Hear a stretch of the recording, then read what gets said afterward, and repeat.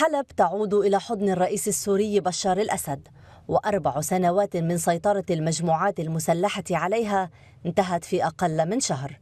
بهذه العبارات علقت وسائل إعلام إسرائيلية على معارك اللحظات الأخيرة في مدينة حلب.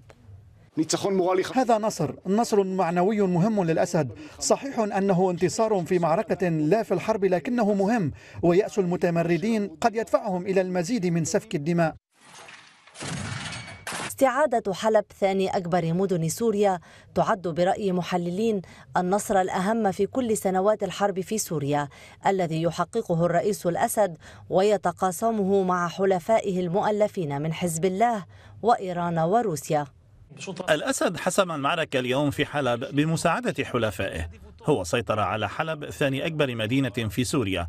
بالطبع جنوده لن يدخلوا إلى كل حي الآن. هذا يتطلب وقتا. لكن المتمردين يهربون وحلب كلها باتت تحت سيطرته.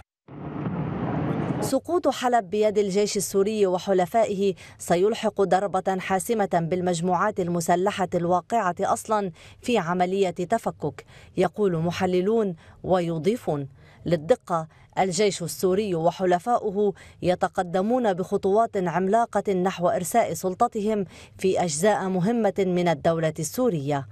خطوات ستضع إسرائيل وفقا لهؤلاء المحللين أمام حقيقة ناجزة من دون أن يكون لديها أي قدرة على التأثير لا في الخريطة السورية ولا فيما يجري فيها أيضاً. إنجازات الجيش السوري وحلفائه دفعت المعلقين الإسرائيليين إلى السؤال عن مرحلة ما بعد حلب. فيما حذر آخرون من أن التطور الأكثر أهمية الآن هو تعزز قوة نظام الرئيس السوري بشار الأسد.